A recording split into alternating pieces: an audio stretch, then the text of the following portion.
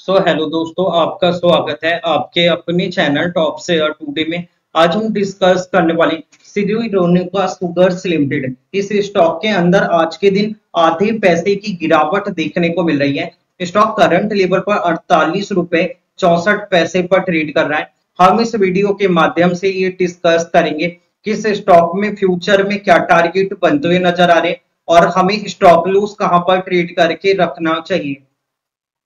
Stock का chart pattern देखें तो इस स्टॉक के अंदर नीचे में जो सपोर्ट लेवल है, वो फोर्टी एट रुपीज़ पर है। फोर्टी एट रुपीज़ पर स्टॉक के अंदर एक शॉर्ट टर्म में सपोर्ट लेवल है। अगर स्टॉक इस प्राइस को ब्रेक डाउन करता है तो स्टॉक में जो दूसरा सपोर्ट लेवल है यस टू वो नीचे में around forty six rupees fifty paise पर है। जहाँ पर स्टॉक ने दो बार एक डबल बॉटम बनाने के बाद निचले लेवल पर एक बाउंस बैक भी देखने को मिलेगा।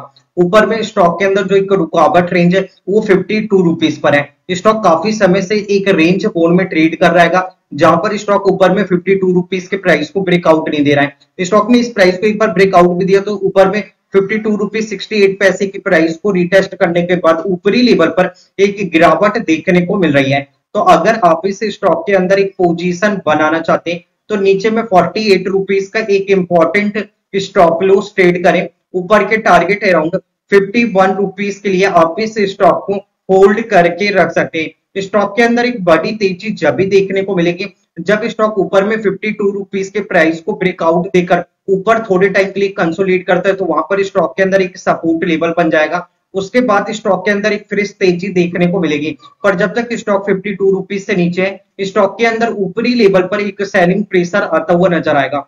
ये वीडियो अच्छा लगे तो चैनल को लाइक सब्सक्राइब करें।